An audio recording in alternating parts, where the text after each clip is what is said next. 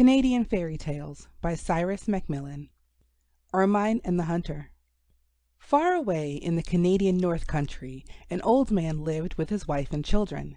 They lived far from other people, but they were never lonely, for they had much work to do.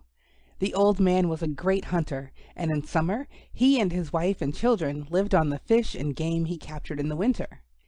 In the springtime he gathered sap from the maple trees, from which he made maple syrup and maple sugar with which to sweeten their food. One day in summer he found three small bears eating his stock of sugar. When he came upon them his sugar was all gone, and he was very cross. With a stout club he killed the little bears and skinned them, and dried their meat. But his wife said, "No good can come of it. You should not have killed the three little bears, for they were too young for slaughter." The next day the old bear came along looking for his lost children. When he saw their skins hanging up to dry, he knew that they had been killed by the hunter. He was very sad and angry, and he called to the hunter, "You have killed my little motherless cubs, and in return for that wickedness, some night when you are off your guard, I will kill your children, and then I will kill you and your wife, and I will devour all your food."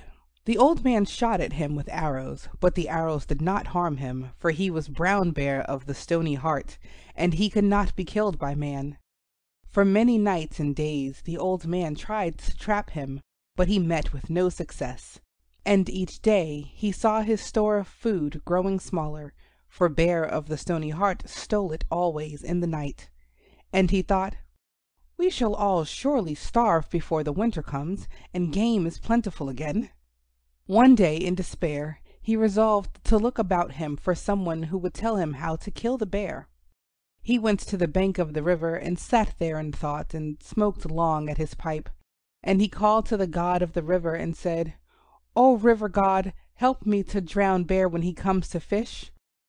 The river came from the limestone country far back among the rocks, and it was flowing rapidly to the sea. And the river god said, "My water cannot tarry.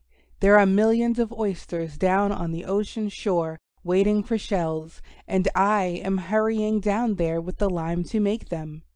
And he rushed quickly past.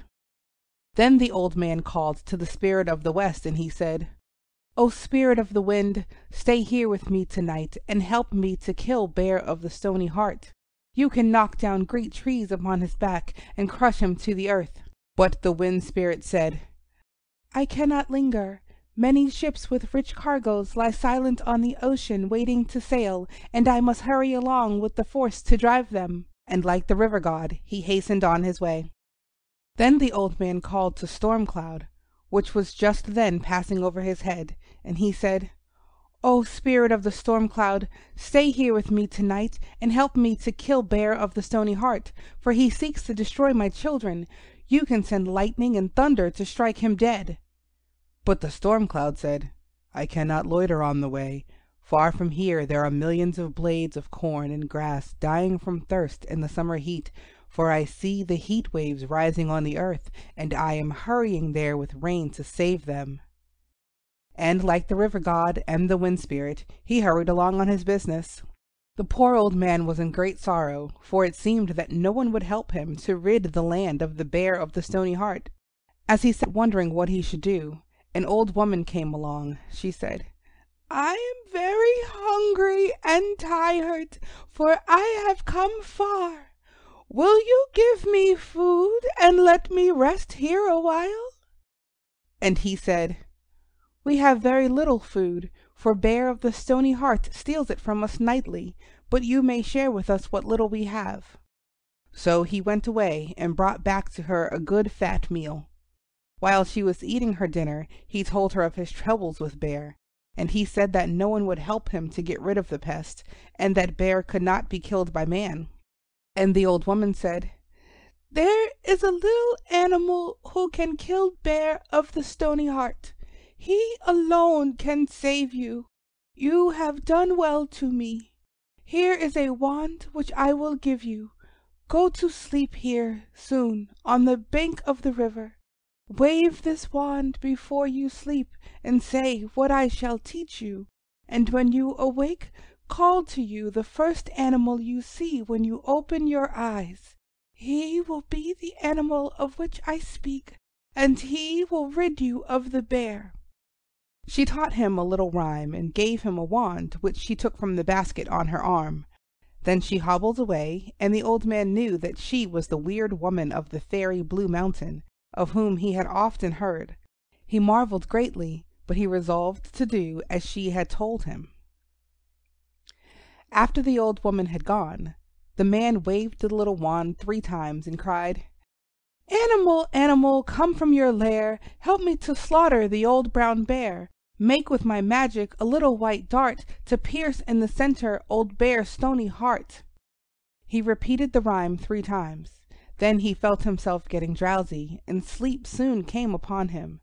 He slept but a short time when the heat woke him up, for the hot sun beat down upon him. He rubbed his eyes and looked about him. Watching him from behind a tree was a little animal with a shaggy brown coat.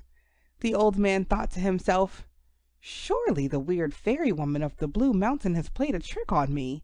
That scraggy little animal with the dirty coat cannot kill the bear. But he resolved to test her word. He repeated his rhyme again, and the little animal came quickly towards him. Who are you? said the man. I am Ermine, said the little animal.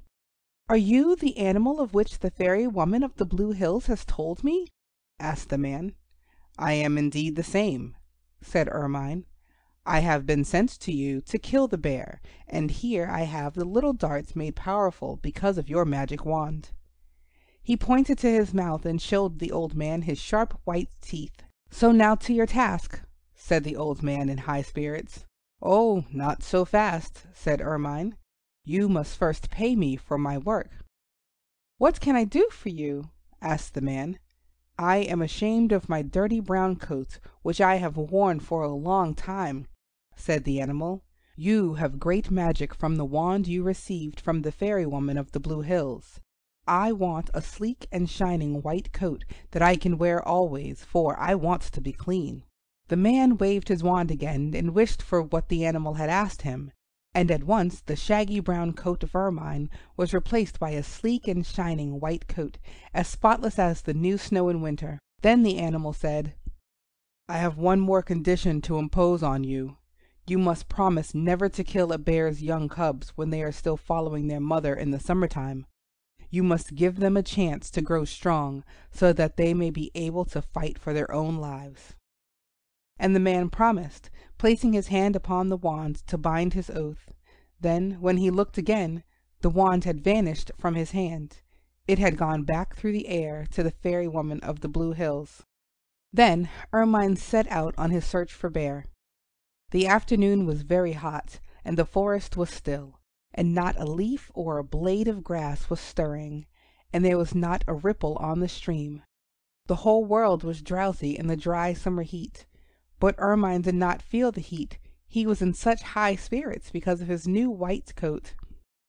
Soon he came upon Bear, stretched out at full length on the bank of the river, taking his afternoon nap, as was his custom after his fat midday meal. He was lying on his back, and his mouth was open wide, and he was snoring loudly like a waterfall.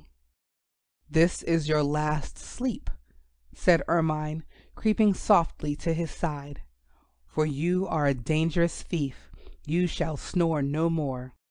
And with a bound he jumped down Bear's throat, and in an instant had pierced with his teeth his strong, stony heart, which the arrows of the Indians could never reach. Then, as quickly as he had entered the bear's mouth, Ermine jumped out again and ran from the place. Bear snored no more. He was quite dead, and the land was rid of his thefts and terrors. Then Ermine went back to the old man and told him that the deed was done, and that night was a great feast night in the old man's home. And since that time Ermine in the North Country has worn a sleek white coat as spotless as the new snow in winter.